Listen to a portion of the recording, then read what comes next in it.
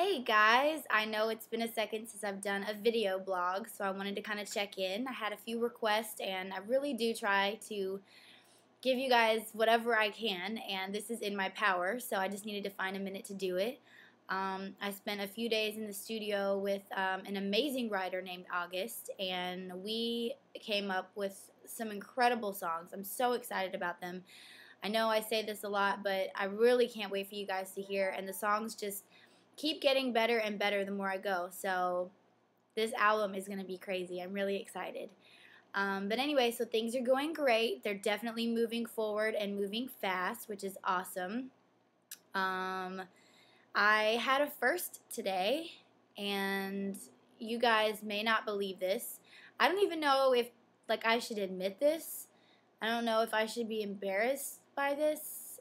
I really don't know. So I'm just going to go ahead and say it but I have never, I had never been to an eye doctor before, ever, like in my whole life. And I think like 10 years ago or something, maybe I took some sort of eye test just where they like cover up one eye and you read and then cover up the other eye and read, whatever. But never like an exam, never with like an eye doctor. So anyway, um, I decided to go to the eye doctor today and found out that I needed reading glasses. Crazy. I I don't need contacts. I don't need to wear them like during the day, but I guess like just to read. So anyway, it's fine. Um, but I just didn't know what style of glasses to get because I've never worn glasses, not even contacts. So I ended up picking some out, but I kind of want to know what you guys think. I don't know if they're cute or if they're not. These are the glasses that I chose. Okay? I look a little nerdy, right? I don't know. Some people wear them really well and others don't. It's a good chance that I don't. I don't know. And look at the glare. So, I don't know. You can't even see my eyes right now.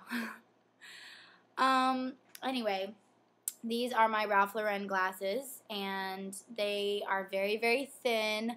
At first, I thought I wanted maybe some plastic chunky ones, you know, some Sarah Palin-esque ones. I don't know.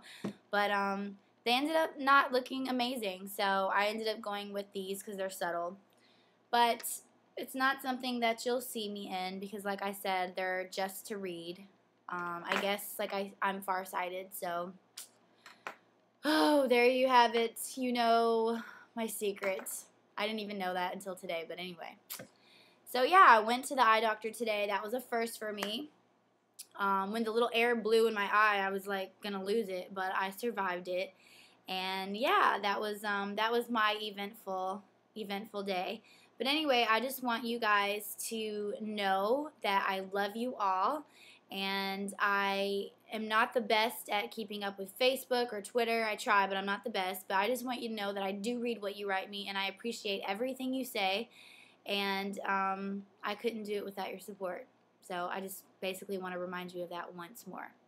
So yeah, hope all is well. I love you, and I will talk to you soon, sooner than later.